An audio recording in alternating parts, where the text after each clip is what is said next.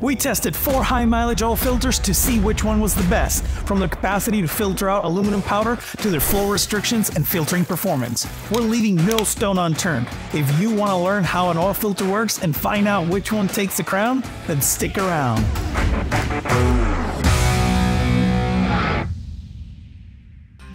Three thousand miles.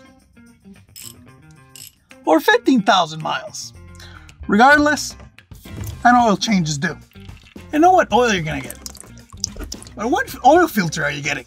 Oil filters. Some claim they can filter 10,000 miles, some 15,000 miles, and some, like the ones we're testing today, are claiming 20,000 miles. That's enough to go from LA to New York seven times. Given they all have the same rating, are they all the same? Well, to test which one's the best, we built our very own oil filter testing rig.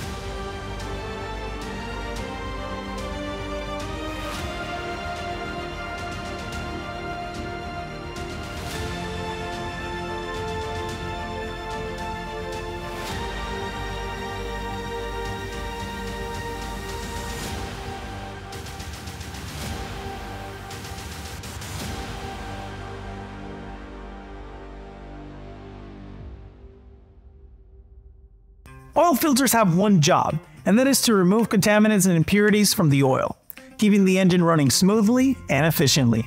So, why not just add tons of filtering media to filter everything out?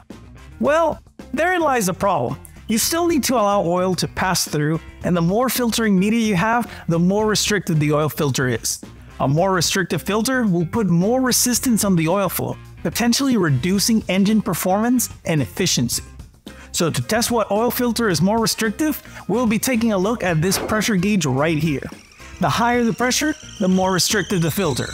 For our first contender, we have the Mobil 1 Extended Performance with a price of $11.44, claiming to remove 99% of particles above 30 microns and protect your engine for 20,000 miles or one year. With fresh, fully synthetic oil and constant pump power, the Mobil 1 comes in at 21 psi.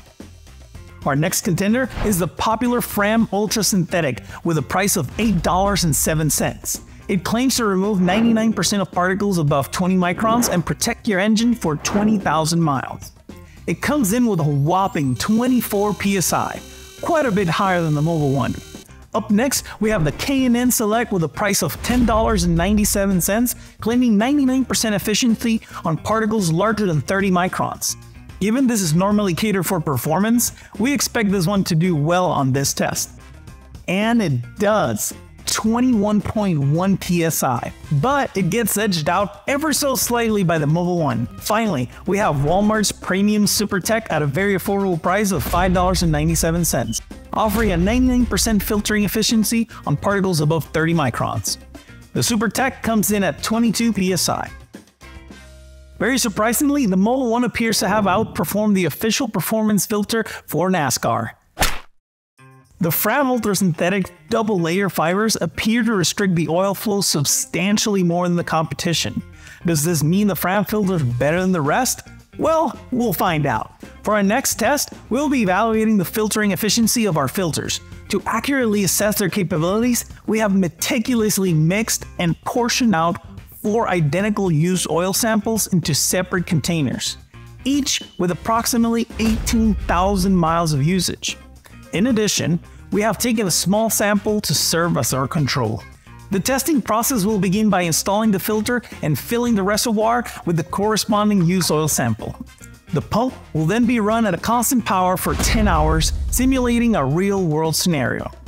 This test will be repeated for the remaining three filters, providing a comprehensive evaluation of their performance. After the testing was complete, we collected approximately 3 ounces of used oil sample, packaged them up, and sent them to an oil testing laboratory for analysis. While we wait on those results, let's move on to our next test, which will be a filter capacity test. Before we can explain how we're going to perform this test, we first need to explain the inner workings of an oil filter.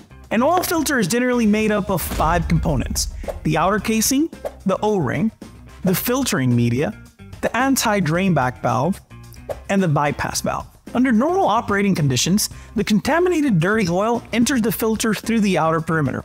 Then it passes through the pleated filtering media, where contaminants are collected and flows back to the engine through the center. The anti-drainback valve works just like a check valve, allowing oil to flow in only one direction to prevent it from draining back to the oil pan while the engine is off. This in turn protects against a temporary shortage of oil during engine startup. Some oil filters have a bypass valve located at the bottom of the oil filter. The bypass valve is closed during normal operating conditions.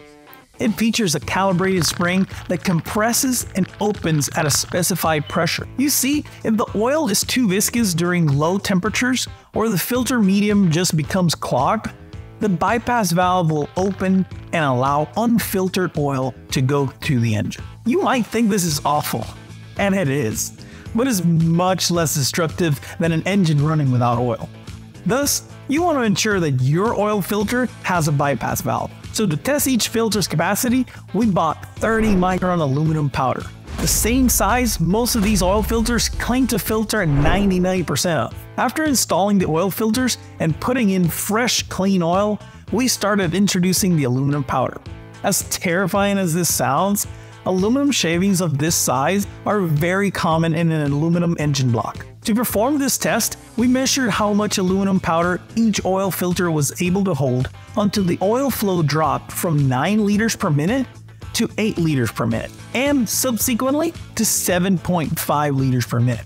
The Mobil 1 took an impressive 33 grams for its flow rate to be reduced to 8 liters per minute, and 15 additional grams to reach 7.5 liters per minute for a total of 48 grams. The Fram Ultra Synthetic held 33 grams until the flow rate dropped to 8, an additional 17 to reach 7.5 for an impressive total of 50 grams, just barely taking the lead from Mobil 1. The K&N was able to hold on to 17 grams until it dropped to 8 liters per minute and an additional 8 grams to drop to 7.5 for a total of 25 grams. This is half the total grams from Fram's Ultra Synthetic. And lastly, the cheap SuperTech Premium 19 grams of aluminum powder to drop to 8 liters per minute, and an additional 6 to lower the flow rate to 7.5 liters per minute, for a total of 25 grams of aluminum powder, tying the K&N Select filter. Overall, as expected, the Fram Ultra Synthetic had the highest filtering capacity given its double layer and finer mesh size. But the Mobil 1 was very impressive coming in within a statistical error of the Fram Ultra Synthetic the K&N, and the Walmart's Premium SuperTech appear to have the same filtering capacity, but way below the other. We took apart all the oil filters we tested to see how they fared with the aluminum powder test, as well as their build quality. The K&N Select appears to be pretty well built, with a rubber O-ring and a silicone drainback valve. The filter does not appear to be very contaminated with aluminum as expected. The SuperTech Premium has a thick rubber O-ring and a silicone drainback valve. The filter does not appear to be very contaminated with aluminum, just like the K&N filter. The Fram Ultra Synthetic collected a huge amount of aluminum powder and did not allow it to pass through. Although a lot of this aluminum was found in the underside of the cap, where the drainback valve seals with the housing. Thus, it could potentially prevent a tight seal and lead to the oil filter draining while not in use. The Mobil 1's design appears to be the superior one, not only collecting a huge amount of aluminum powder, but doing so in its filter pleats as opposed to interfering with the drainback valve like the Fram Ultra Synthetic. In comparison, the filter caps appear to all do the job and are built with very thick aluminum and good quality rubber gaskets. Fram's Ultra Synthetic K&N and SuperTech's bypass valves appear to be very similar and have an almost identical feel to them. As for the Mobil 1, you might think it just doesn't have one, but it's actually my favorite design of all. They integrated the valve to the filter itself. As for filter media holder, the K&N has unevenly distributed filter pleats, but it also has a great inner barrel made out of metal. The SuperTech Premium, on the other hand, appears to have uneven filter pleats as well, and an inner housing made of plastic instead of metal. The Fram Ultra Synthetic has thicker pleats than the previous two, as well as a metal inner barrel. The Mobil 1 has by far the most evenly spaced filter pleats, It also features a metal inner barrel and the integrated bypass valve. One of the things I like the most of this filter as well as the Fram Ultra Synthetic is the metal fitting they place over the filter joint as opposed to the other filters. Without this metal joint, you can have gaps in your filtering media that can allow contaminants to flow through unfiltered like this right here.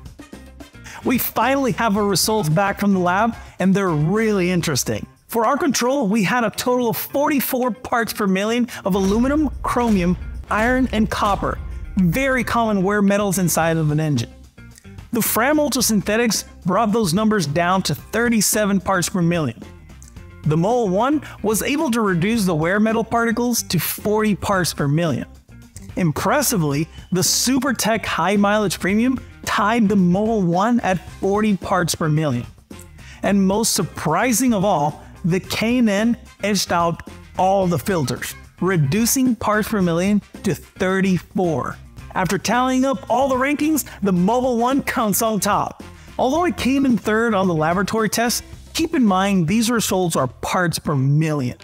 Its build quality, the exceptional capacity, and the ability to deliver this performance with the lowest fluid pressure made it our number one choice the Fram Ultra Synthetic and the K&N tied at second place. Remember, sometimes there is a trade-off between oil restriction and capacity. On one hand, a filter with a high filtering capacity is generally more desirable because it can remove more contaminants and impurities from the oil. However, a filter with a high filtering capacity may also be more restrictive, meaning it puts more resistance on the oil flow. This can lead to reduced engine efficiency and performance. So, how do you choose the right oil filter for your vehicle? It really comes down to finding the right balance between filtering capacity and restrictiveness. If you prioritize engine performance and efficiency, you may want to choose a filter with a low restrictiveness such as the K&N or Mobil 1. On the other hand, if you want to ensure that your engine is as clean as possible and extend its life, you may want to choose a filter with a higher filtering capacity, even if it's more restrictive like the Fram Ultra Synthetic. Luckily, the Mobil 1 appears to cover both scenarios. Ultimately, the best oil filter for your vehicle will depend on your specific needs and priorities. Now, if you're doing some wiring repair to your car, you should definitely stay clear of some electrical tapes out there. Click on this video to find out which. As always, links are down below in the description. Thanks for watching and catch you on the next one.